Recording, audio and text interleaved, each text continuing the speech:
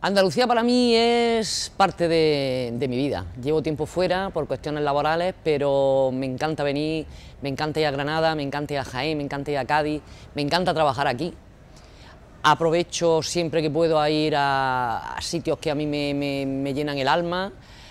Recomiendo la exposición de Gordillo, por cierto, porque me parece que tenemos que reivindicar también un poco una contemporaneidad y eh, no podría vivir sin Andalucía, simplemente. Eh, siempre que he estado fuera viviendo, a lo mejor en Canarias o en Inglaterra, tal, necesitaba venir, necesitaba el flamenco, necesitaba la comida, la alegría.